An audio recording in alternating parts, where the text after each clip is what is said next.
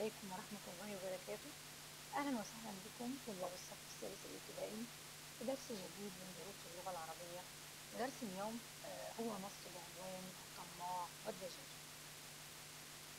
الشاعر محمد عثمان جلال. ولد ببني سويف تعلم في مدرسة الألسن بالقاهرة. اشتغل بالترجمة والكتابة. اشتهر بأشعاره التي كتبها للأطفال. درس اليوم هو عبارة عن حكاية خيالية.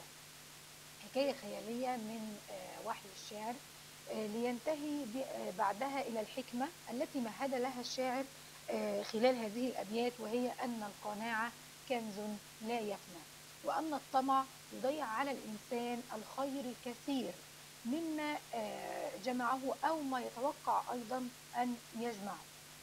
نشوف مع بعض ونستمع لدرس النهارده. هو عبارة عن درس لطيف يتميز بخفه الظل كما يعني الشاعر أيضا تميز بكتاباته التي تتميز بخفه الظل. كان من ظرفاء عصره نستمع مع بعض.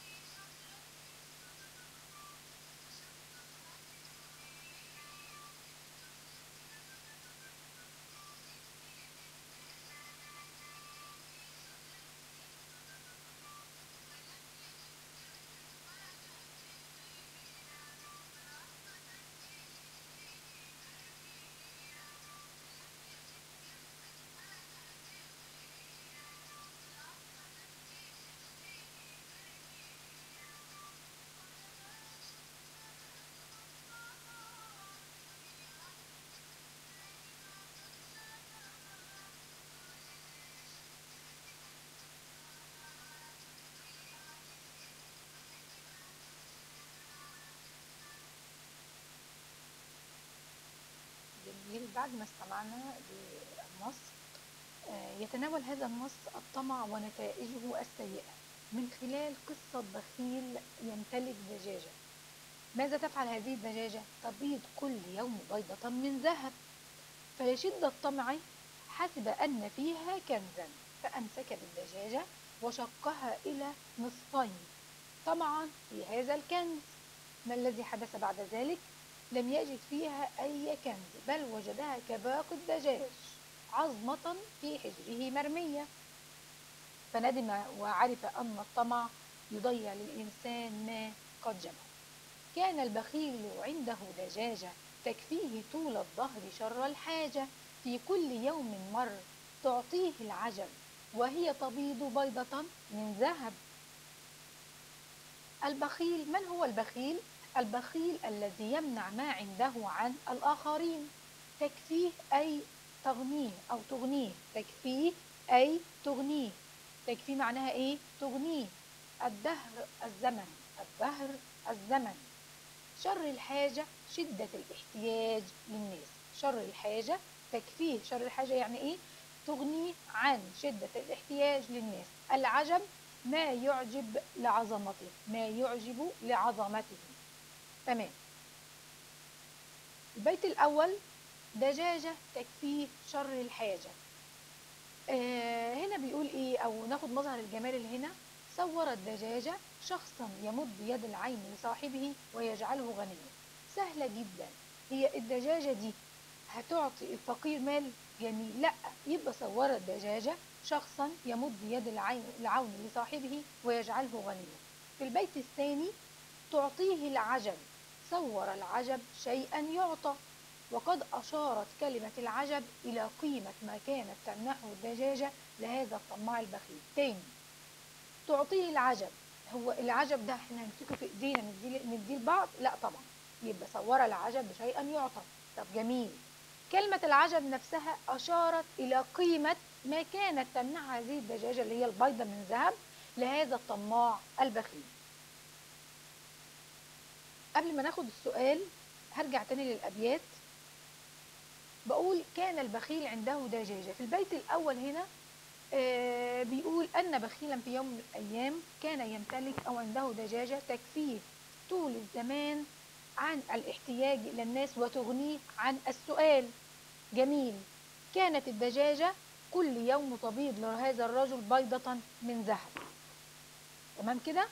طيب لو قلت كلمة البخيل جمعها البخلاء دجاجة جمعها دجاج الظهر جمعها الظهور أو الأظهر شر شرور الحاجة الحاجات يوم أيام.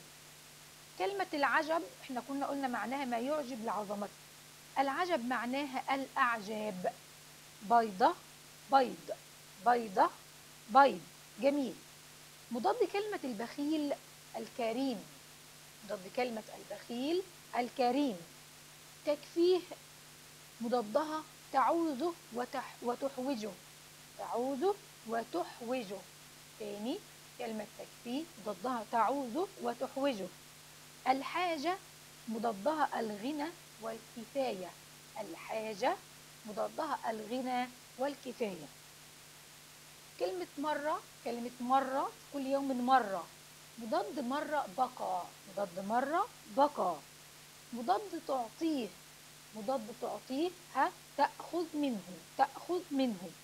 ظن مضادها إيه؟ تأكد. ظن تأكد. كمل مع بعض. حكاية الطماع والدجاجة. حكاية خيالية حقيقية خيالية فرعونية. اختر. مم. طبعا حكاية إيه؟ خيالية. بما صور الشاعر الدجاجة في البيت الأول نفس مظهر الجمال بالظبط. صور الدجاجة شخصا يمد يد العون والمساعدة لصاحبه ويجعله غنيا. لما بيجيلي في مظهر الجمال أو تعبير جميل صور الدجاجة شخصا يمد يد العون والمساعدة لصاحبه ويجعله غنيا. لماذا كانت الدجاجة كنزا للطماع؟ لأنها كانت تبيض كل يوم بيضة من ذهب جعلته من أغنى الناس وكفته شر الاحتياج إلى الناس. فظن يوما أن فيها كنزا وأنه يزداد منه عزا فقبض الدجاجة المسكين وكان في يمينه سكين وشقها نصفين من غفلته إذ هي كالدجاج في حضرته. ظن الرجل البخيل أن الدجاجة تخبئ في بطنها كنزا من البيض الذهبي. وإذا عثر عليه فإنه سيزداد غنى وسيكون غنيا طول الدهر.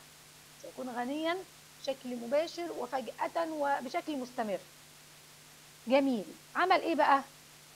فقبض الدجاجة المسكين أي أمسك البخيل الدجاجة بيده اليسرى. وكان في يده اليمنى السكين وشقها نصفين من غفلته وقسمها إلى نصفين والمراد ذبحها. باحثا عن عن الذهب وزال من غفلته يعني إيه من غفلته؟ من قلة إدراكه وفهمه.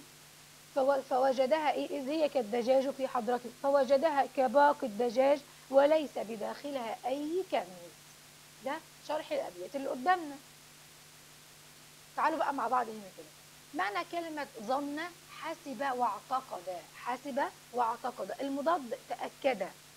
كلمة كنزا ما معنى الكنز؟ ومال مدفون تحت الأرض مال مدفون تحت الأرض. جمع كنز كنوز. عزا قوة والمراد غنى. قوة والمراد غنى. مضاد عزا ذلا. مضاد عزا ذلا. قبض قبض أي أمسك قبض يعني إيه؟ أمسك مضاد أمسك بسط وترك. مضاد أمسك بسط يعني أمسك لو إحنا دلوقتي بنشرح قدامنا آه، قبض أي أمسك مضادها بسط وترك. المراد المسكين المراد بمين؟ البخيل والجمع طبعا المساكين. بالمناسبة كلمة المساكين آخرها ياء ونون كثير منكم بيعتقد أنها جمع مذكر سالم لكنها جمع تكسير لأن المفرد بتاعها لا يظل سالما. يعني أقول إيه؟ المساك. يبقى ده كده إيه؟ جمع تكسير مش جمع مذكر سالم. كمان ما ينفعش أقول المساكون. كلمة يمينه يده اليمنى والمضاد طبعا شماله. جميل. شقها فلقها وقسمها. فلقها وقسمها والمراد ذبحها. غفلته قلة إدراكه نتيجة ما يفعله والمضاد انتباهه بالمضاد غفلته انتباهه حضرته معناها فناء بيته. بل دجاجا في إذ هي كالدجاج في حضرته كالدجاج في فناء بيته.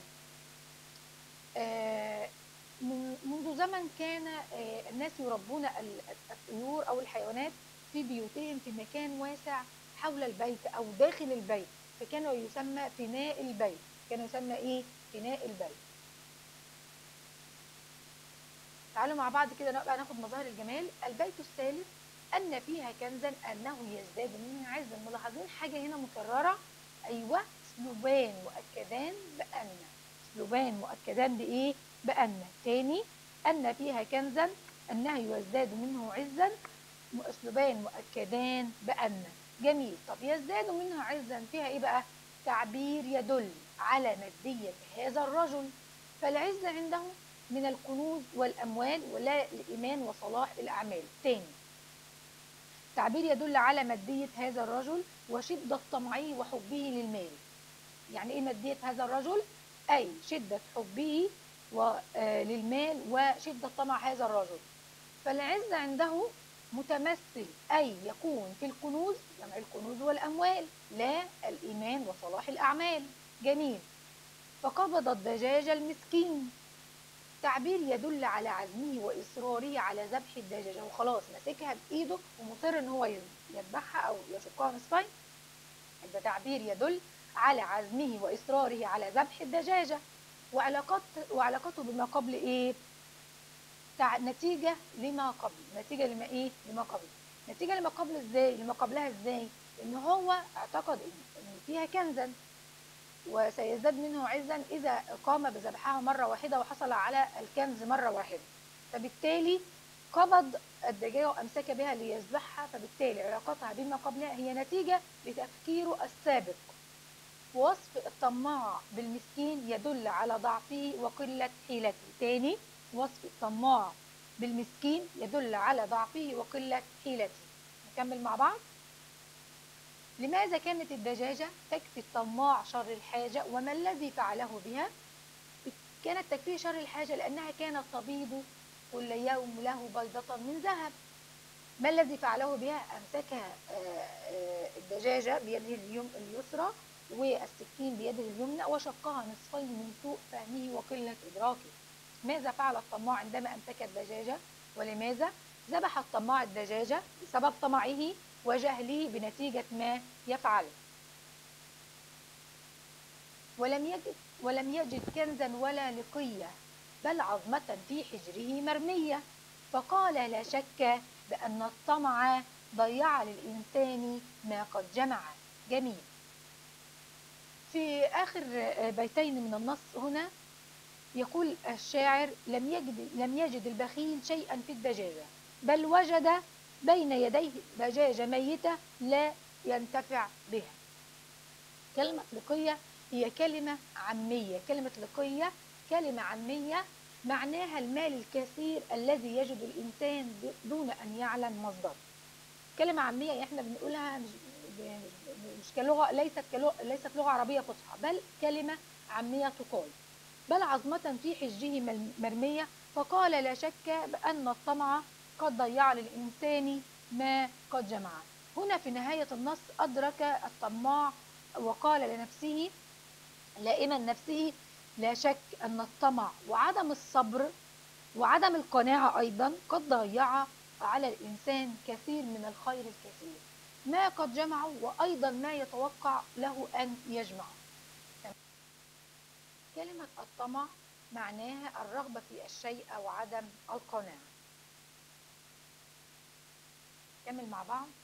كلمة عظمة جمعها عظم وعظام. كلمة عظمة جمعها آه، عظم وعظام آه، وعظمات أيضا وعظمات أيضا. جمع كلمة شك شكوك. حجر حجور. حجر حجور. أو حجور. الطمع الأطماع الإنسان الأناسي الإنسان الأناسي. تمام؟ مضاد كلمة يجد يفقد يجد يفقد. شك ها مضادها إيه؟ يقين وتأكد. جميل. مضاد الطمع طبعا القناعة.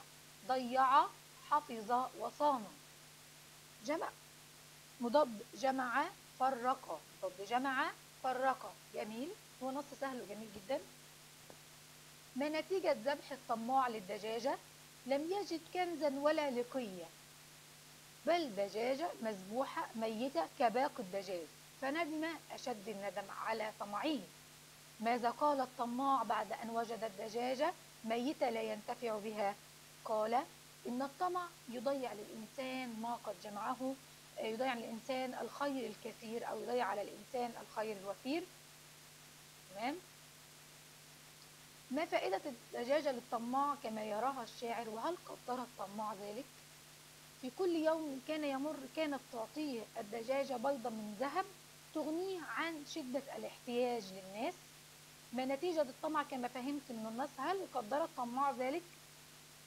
لم يقدر الطماع ذلك بل آه، ذبحها من قلة إدراكه ومن غفلته. آه، ذبحها لكي يعثر على الكنز مرة واحدة لكنه وجدها كباقي الدجاج عظمة في حجره مرمية. ما نتيجة الطمع كما فهمت من النص؟ الطمع ضيع للإنسان ما قد جمع. جميل نكمل بقى مظاهر الجمال. شقها نصفين من غفلته. إحنا قلنا إن غفلته معناها قلة إدراك. جميل يبقى تعبير يدل على قلة إدراكه ن- لنتيجة ما يفعله. البيت السادس لم يجد كنزا ولا لقية. تنوع النفي بلا ولم لتأكيد الفكرة. شايفين؟ عندي لم هنا وعندي لا. تنوع النفي هنا لتأكيد الفكرة. أنه لم يجد أي شيء. لم يجد كنزا ولا أي شيء. الطمع ضيع على الإنسان ما قد جمع. صور الطمع آه هنا أنا بحب مظهر الجمال ده أنتوا تستخرجوه دلوقتي هو الطمع ده شخص بيضيع على حد حاجة لا يبقى صور الطمع شخصا يضيع على الإنسان خيرا كثيرا مما جمعه وما يتوقع أن يجمعه. جميل نكمل.